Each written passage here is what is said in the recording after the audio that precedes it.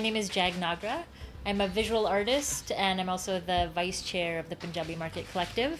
Um, I initially got involved through my art. Um, uh, Gulzar Nanda, who's our chair, he ended up finding some of my art online and we connected and he shared like ideas about revitalizing and beautifying Punjabi market and immediately like i was sold on the idea so we're inside high class jewelers or hc jewelers um, and they are kind of one of the staples of the market they've been here for decades um, Gulzar, who I mentioned earlier, the chair of our collective, he's actually a fifth generation jeweler.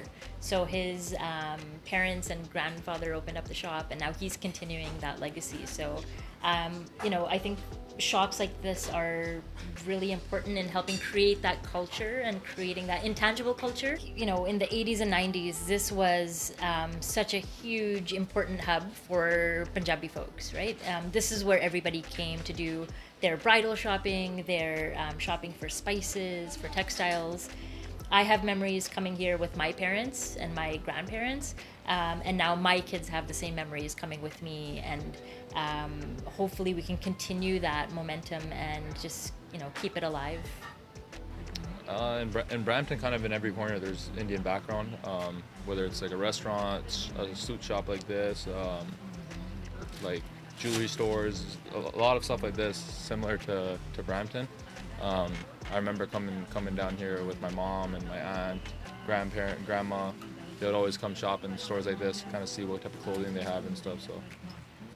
Yeah, so the very first Indian shop that opened up was uh, on, May 31st, 1970, and it was a textile shops, um, Shan Saris.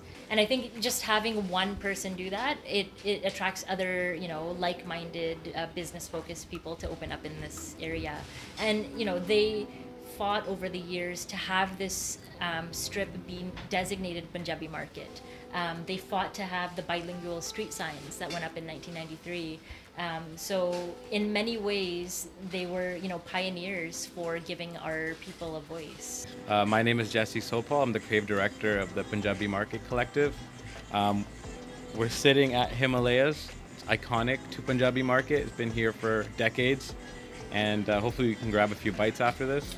When me and my parents would go shopping here when I was a kid, we'd all stop by Himalayas and have like a snack or like some chai, you know. So it still has that that memory tied to it, and not a lot has changed. And I think that's a good thing in many ways. The Punjabi Market Collective has been working towards kind of revitalizing this market through a creative and cultural lens, doing projects like murals. Um, we've been doing other things as well with um, installations, and we're working on like banners and stuff, and having an event, a live event happening in August. So for me, it's always a matter of how do you go deep into the culture, into stories, metaphors, whatever, pick one element and kind of showcase it and present it to the community in whatever visual or project that I have. I think what art does is it creates a bridge for people, right? Um, I think it's a great way to um, bring community together. Uh, and for you know young kids, even elders watching at home, they'll see someone like Shaan and be like, "Hey, there's one of you know one of us out there uh, doing big things." And I think that um, just encourages so many people. It probably introduces you know young athletes to this whole new world, and I feel like we all feel proud when we see um, another Punjabi person doing really big things um, nationally or internationally. Uh, I know we have a bunch of communities on our team that can get support from everyone in Vancouver, and I hope a lot of Indian Indian communities come out to watch me play because it kind of shows them that their kid or their brother or their nie- uh, niece or nephew or whatever it is, just they can make it to that level with someone right in front of them doing it, you know.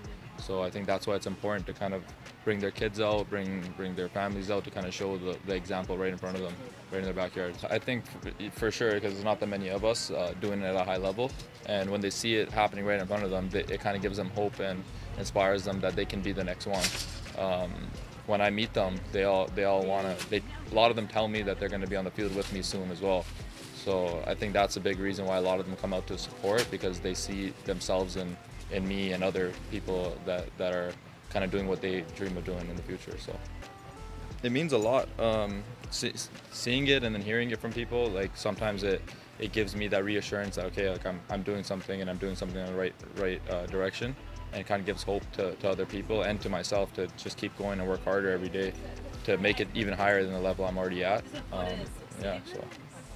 There's that stereotype of, in our culture at least, become a doctor, engineer, lawyer, and things like an athlete, an artist, anything creative or something that's kind of beyond that gets pushed to the side. So when we have athletes or artists doing great things, that should be celebrated and that should be put on almost a pedestal as lawyers, doctors, and engineers, because that is a viable way of starting a career or having a career. And you know, the next generation should see that. So I want to see parents saying, "Hey, become an athlete, doctor, lawyer, artist, engineer." You know, part of that sort of um, list of occupations. With the population of how many Indian people are in Canada, in the CPL, I feel like if there's at least one Indian player on each team, I think that can be a, be big for the league, big for the, the community, and just big big for each city that has the team. Because I know there's a big population in almost every city in Canada, so I think it'd be good for the league if there's at least one Indian player on each team. So. Honestly, since I started working in Punjabi Market in 2019, um, not only has my career just completely evolved, but I have as, as well as a person. In many ways, I feel like I've come home. And that also has to do with how much community support there is, right? Um, just having people say, like, thank you for representing our culture out there, you know, that, that just means so much. And um, it's really inspiring to be able to do work like this. I, I feel like there's this whole street uh, kind of keeps me in touch with where I'm from. Uh, I've lived other places in North America and stuff, and I've I've been always homesick quite quickly. Uh, moving to Vancouver, uh, knowing how, how much of my community is out here, it's kind of kept me grounded and makes me love the city for, for what it is. So